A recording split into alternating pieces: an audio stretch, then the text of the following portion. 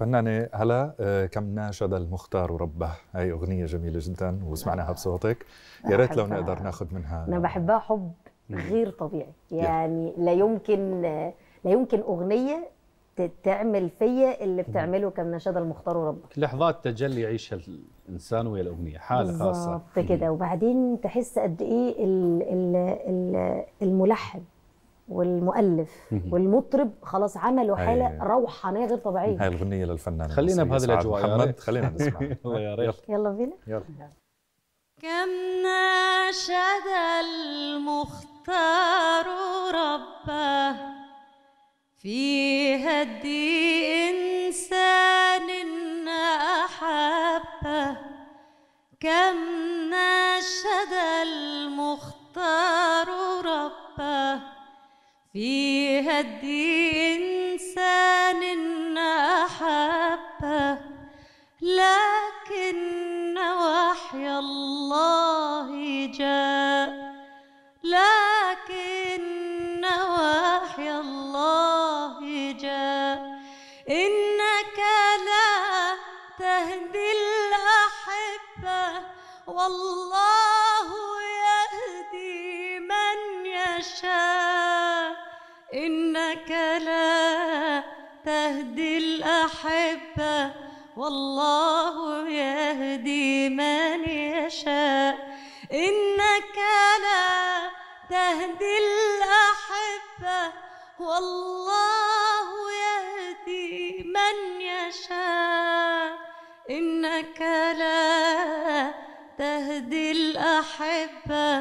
والله يهدي من يشاء.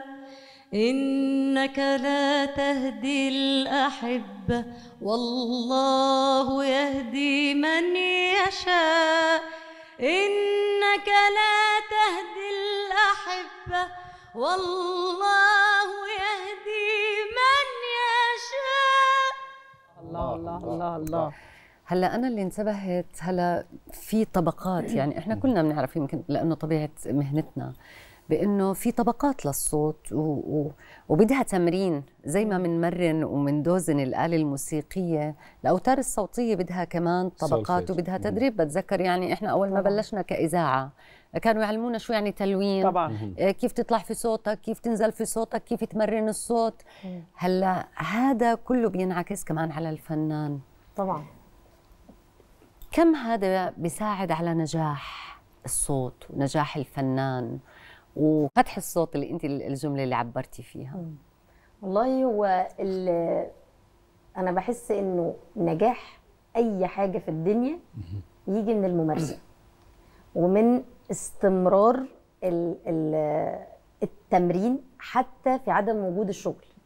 يعني طول الوقت يعني أنا ببقى قاعدة مثلا إيه في المطبخ مثلا المطبخ.